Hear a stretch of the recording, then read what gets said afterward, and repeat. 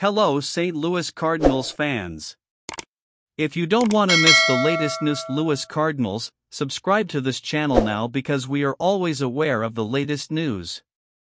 The St. Louis Cardinals may look different by the time September rolls around. St. Louis has had a roller coaster of a season, and the 2023 campaign still has plenty of time to go.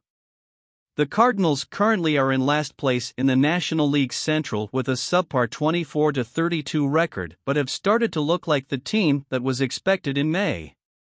St. Louis is just five and a half games behind the NL Central leading Milwaukee Brewers and has plenty of time to make up the ground.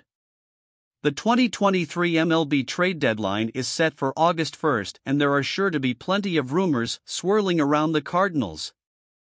St. Louis starting rotation could use a boost, and plenty of names already have been floated that could help. Plus, the Cardinals have some intriguing trade pieces of their own. Although they may not be in first place right now, it sure doesn't sound like St. Louis is giving up, according to Bally Sports' Jim Hayes. If you don't want to miss the latest news, subscribe to this channel now because we are always attention to the latest news from St. Louis Cardinals. I don't anticipate us selling at all, Cardinals president of baseball operations John Mozeliak said to Hayes. I think, where our division is headed, it's going to remain very competitive. So, really, we're going to be looking at ways that can really help this club. The trade deadline is sure to be busy, and St. Louis could find exactly what it needs.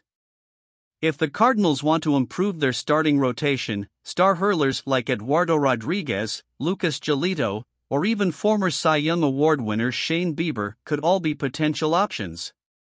St. Louis outfielder Tyler O'Neill has been in trade rumors seemingly all season, and the club has other pieces like Juan Yepez who could be packaged together to get a deal done along with other prospects.